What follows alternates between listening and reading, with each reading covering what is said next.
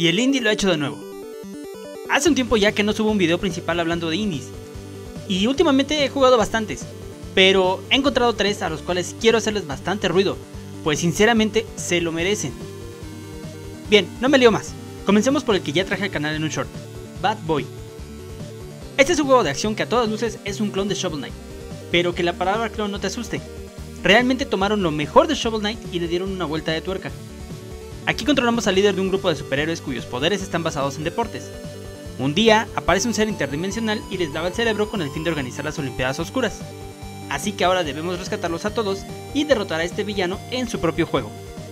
Si has jugado Shovel Knight o Mega Man, no tendrás ningún problema en adaptarte al control, pues realmente se siente como una calca del control de estos dos juegos en los que está fuertemente basado. E incluso tenemos la mecánica de obtener habilidades del jefe derrotado. Y lo mejor es que no solo las utilizarás en contra de otros jefes, sino que deberás utilizarlas a lo largo de los niveles, ya sea para avanzar o para encontrar los múltiples secretos que tiene este juego. Y aunque gráficamente pudiese haber sido un poquito mejor, con lo que tenemos realmente alcanza. Este es un juego que a nivel técnico podría verse como un título de la última horneada de la NES, pero con las capacidades a nivel jugable de una Play 1. Y la música, rayos, qué buen soundtrack. E incluso este vale la pena adquirirlo en la tienda de Steam, y el juego lo puedes encontrar en Switch, Play 4, Play 5, Xbox Series y Xbox One. Y como dije en aquel short, este juego es un clásico instantáneo. Te recomiendo ampliamente que le des una oportunidad. Realmente no es tan difícil, pero te ofrece un muy buen reto y cuando logras terminarlo te deja un gran sabor de boca.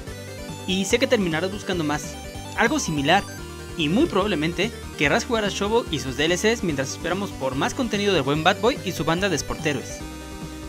Pero te propongo que después de Bat te sigas con la siguiente joya. Claro que sí, cómo no, recién salido del horno te traigo el estupendo Gravity Circuit. O como yo le digo, el Así se hace una sucesión espiritual Inafune. Esta joya de acción toma claramente como base la saga Mega Man X, comenzando por la movilidad, la cual se siente completamente como si tuviésemos nuevamente a X bajo nuestro control. Esto claro hasta que nos damos cuenta de que para atacar no lo haremos con disparos, sino que aquí es cuerpo a cuerpo. Nuestro personaje tiene una buena variedad de combos y movimientos para hacer frente a nuestros enemigos, ya sea en el piso o en el aire, y este detalle ya le da toda una personalidad propia. Y esto es algo que me gusta muchísimo, ya que no se queda en ser un simple clon de Mega Man. Está clarísimo que la base es la serie X, pero realmente este juego toma elementos de otras sagas como Bionic Commando, ya que nuestro prota puede utilizar una cadena como ataque secundario, pero esta misma nos va a servir para balancearnos y poder saltar por precipicios muy amplios, o para poder escalar en los escenarios y alcanzar zonas ocultas donde podremos encontrar ya sean cofres con dinero del juego o algunos robots que necesiten nuestra ayuda. El ritmo del juego es muy frenético, lo que hace que el nivel de dificultad sea un tanto elevado, pero no es nada imposible. Y aunque a veces requiere de mucha precisión en el plataformeo, la verdad es que te acostumbras inmediatamente, y el control es tan bueno que si en algún momento te equivocas no será por culpa del juego, sino porque algo no ejecutaste correctamente.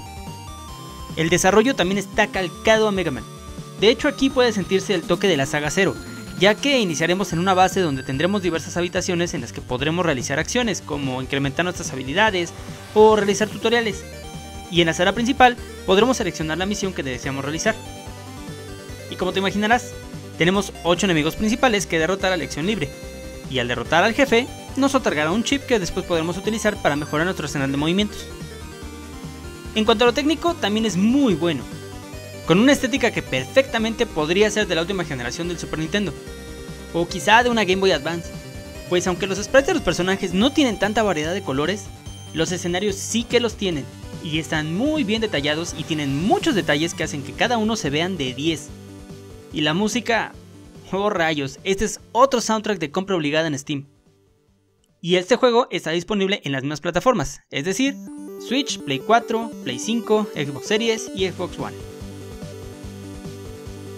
Y bueno, finalmente este tercer título del día es un tanto más conocido y generó un poquito de ruido en la plataforma morada y aquí en tu, debido a que el youtuber detrás de él básicamente demostró que el sueño de muchos de nosotros es posible hacerlo realidad.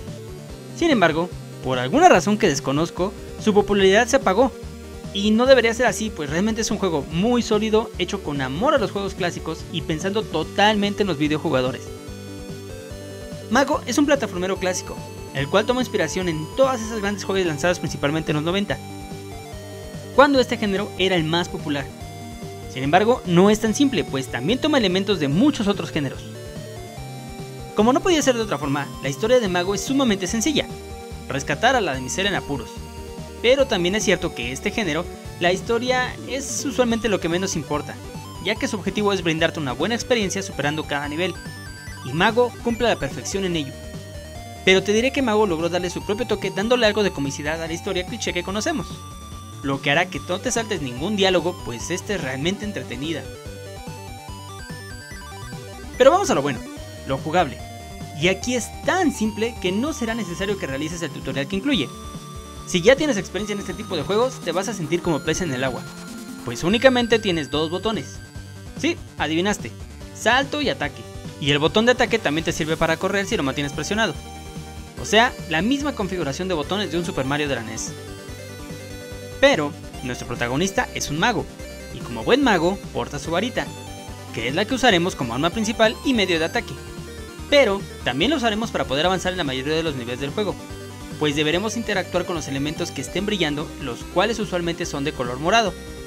Sí, te sonó bien, al igual que en el clásico Los Simpsons Bars vs Space Mutants de NES. Aunque a diferencia del clásico de Acclaim, aquí podremos utilizar esta habilidad sobre cualquier enemigo, pues la magia paralizará a los enemigos y nos permitirá ya sea derrotarlos o utilizarlos como trampolines para llegar a lugares lejanos donde podrás encontrar algunas sorpresas ocultas, de las cuales este juego tiene muchísimas.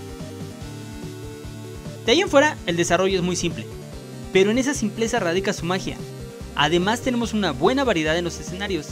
Algunos son lineales, otros más laberínticos e incluso tenemos niveles donde las mecánicas van cambiando y casi casi que deberemos hacer speedruns para ganar una competencia o utilizar un robot. La variedad es enorme y este es un gran punto a favor del juego. El diseño de niveles es tan bueno que ningún nivel es igual al anterior, por lo que jamás se te va a tornar aburrido. En total tenemos 7 mundos o secciones del mapa en donde encontraremos los niveles normales, algunos especiales representados con enemigos o las torres de desafíos. Y esto es claro, otro elemento tomado de algunos clásicos y que está muy bien implementado, pues aquí conseguiremos varios ítems que de otra forma no sería posible. Por ejemplo, algunos skins, músicas, etc. Sinceramente creo que lo mejor del título recae en sus niveles. Son tantos y tan variados y descubrir qué es lo que sigue se vuelve algo muy agradable. Muchas sorpresas te aguardan en esta aventura, convirtiéndola en algo tremendamente entretenido eso sí, te recomiendo que en cada sesión que le dediques tengas algunas horas disponibles, pues su esencia te atrapa y el tiempo pasa volando.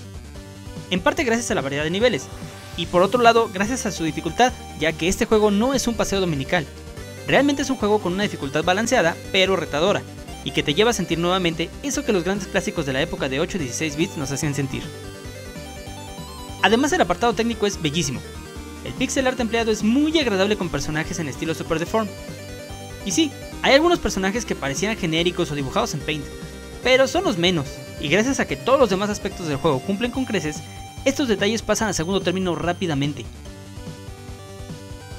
Ahora, eso sí, no todo es perfecto, ya que el juego tiene algunos pecadillos por aquí y por allá que pueden resultar un poco chocantes para algunos.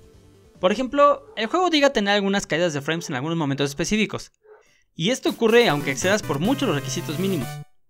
Aunque, quién sabe, pues esto también podría ser una referencia a aquellas clásicas ralentizaciones que se tenían cuando se cargaba mucho el procesador de la NES. Mmm, pudiera ser. Y el otro pecadillo es en cuanto a la resolución, pues a legua se nota que este juego está pensado para jugarse en 4 tercios, ya que cuando incrementas la resolución, los píxeles se estiran y se puede llegar a ver un tanto feo. Máxime si tienes un monitor ultra wide y aunque puedes ponerlo en modo de ventana, aún así se siente que sí le faltó una opción para colocar un bezel o unas líneas negras y evitar que se estirara por completo la pantalla. Pero si tienes un monitor que pueda verse a 4 tercios, te recomiendo que lo ejecutes de esta forma. El pixel art luce increíble. Pero al final, ¿qué son un par de pecadillos ante una carta de amor a los videojuegos retro como lo es Mago? Sinceramente es un juego muy disfrutable y muy recomendable. Lástima que solamente se encuentra disponible para Windows a través de Steam, pero hey, los requisitos que te pide son sumamente bajos y cualquier PC al día de hoy puede ejecutarlo sin problema. El desarrollo de un videojuego no es algo fácil, y realmente es muy grato ver como cada vez más y más estudios independientes se superan y están lanzando joyas como estas tres que te traje el día de hoy. Los tres son juegos de 10, cuyas intenciones no están en competir con los grandes de la industria, sino más bien llevarte de la mano a un viaje de nostalgia tomando elementos y mecánicas de grandes obras del pasado y mantenerlas con vida. Y no cabe duda que los tres estudios lo consiguen con Crisis. Solo nos resta a nosotros darles una oportunidad. Y bueno, eso ha sido todo por hoy. Sígueme para más datos, reviews y trucos. Yo fui Alex y nos vemos en el siguiente video. Que espero ahora sí el trabajo me permita subirlo pronto. See you later.